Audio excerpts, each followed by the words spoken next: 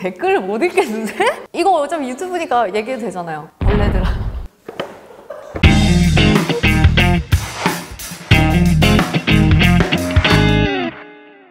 안녕하세요 여러분 세리입니다 여러분 오늘은 제가 달자벳에 대한 댓글 읽기 컨텐츠를 준비를 해봤는데요 댓글들을 과감없이 제가 읽고서 댓글에 대한 저의 의견을 한번 말해보는 시간을 가져보도록 하겠습니다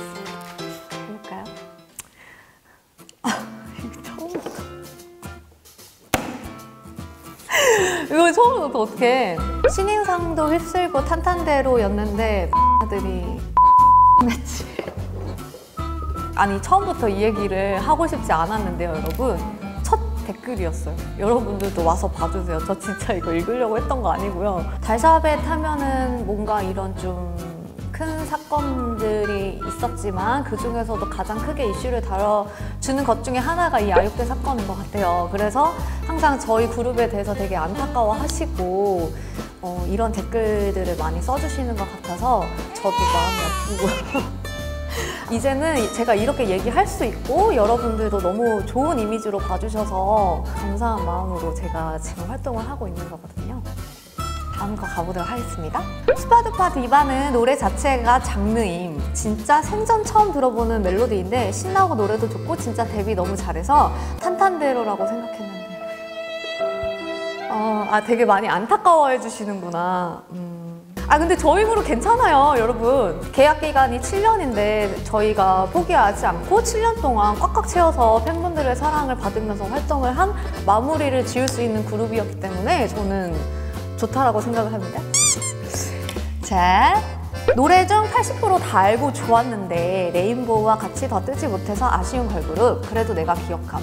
저희 달샤벳이 그 걸그룹 마지노선에 걸려있는 그룹이었어요 여러분. 나달렌이라고 유명했었는데 뭐 거기라도 간 것까지 어딘가요? 80% 노래는 다 알고 좋았다. 개개인 멤버까지 대중분들이 모르실 지연정 그래도 이름을 알렸던 그룹이기 때문에. 그래서 제가 지금 솔직히 말하면 이렇게 개인 활동을 할 수 있는 원동력이 되지 않았나 싶습니다. 자 그래. 이런 거 이런 댓글 있어야지. 히츠만 들으면 그때 케이팝 감성이 느껴져서 너무 좋아. 유유유. 그래도 전체적으로 중박은 친 것 같은데 달샤벳 하면 다들 알지 않은? 아예 묻힌 그룹도 많은데 엄청 못 든 것도 아님 네, 여기에 댓글 6개가 있거든요. 레알 사건만 아니었어도 유유 진심 너무 안타까워요. 뭐 저 히츠 때 한참 좋아해서 맨날 들었었어요. 데뷔곡이 이 정도면 사귄 그룹은 얼마 없을 듯 스파드파 디바. 전 아직도 들어요. 대부분 다 멜로디 좋음 난 조커랑 히츠가 최애. 되게 다 좋으시면 해주시네요 달샤벳에서의 세리가 약간 소녀시대 노래에서의 제시카 느낌이라고 해야 하나? 목소리가 확 돋보이고 목소리 자체가 들어가면 노래가 더 밝아지고 신비로워지는 느낌, 완성도가 높아지는 느낌이 든 이렇게 얘기를 해주시는 분들이 계셔서 제가 최근에 다과라는 노래도 나올 수 있었던 거고 깨알은 거 차가워 이게 지금 소녀시대 선배님 얘기를 이게 나왔으니까 말씀드리는 건데 저희 입으로 절대 제2의 소녀시대다라고 얘기를 한 적은 없고요. 아무래도 E-TRIBE 오빠가 제작한 걸그룹이다 보니까 어, 기자님들께서 되게 좋게 언론 플레이를 해주시려고 제2의 소녀시대가 나왔다 이렇게 하면서 제가 난생 처음으로 연예인 이런 거구나 이제 그때부터 악성 댓글에 대한 이 내성이 생기기 시작했던 것 같아요. 근데 또 때마침 또 언론이 뭐 제시카를 닮았다. 뭐 목소리가 그렇다. 이러면서 더 따따블로 제가 제일 욕을 많이 먹었거든요. 그때부터. 제가 그래도 성격 자체가 관종이기 때문에 이 직업을 하는 거고요. 악성 댓글에 대한 상처가 있긴 했지만 좀 담담하게 받아들이려고 했던 편이었던 것 같아요. 근데 도가 좀 넘어서면은 사람이 이제 그거 자체의 감정선이 많이 힘들어지는 거는 또 사람이기 때문에 그런 시기가 있었다라는 점 알려드리고 싶고요. 그래 이거 하다 이거 어차피 유튜브니까 얘기해도 되잖아요. Bling Bling 노래 존나 신나네.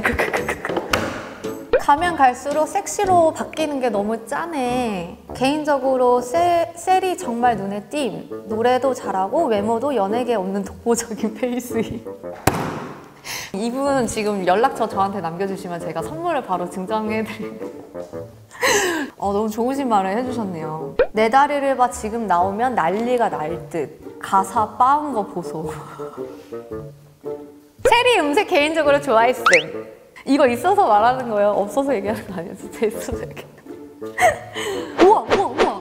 여러분 1개월 전에 달린 댓글인데 세리데이에 대한 언급이 있는 댓글을 제가 지금 처음 봤어요. 세리데이 유튜브에서 인터뷰 봤는데 극단적 선택도 생각했다던데 아무렇지 않게 악플 소문 만들어서 퍼뜨리는 게 얼마나 무서운 건지 알았으면 좋겠다. 벌레들아.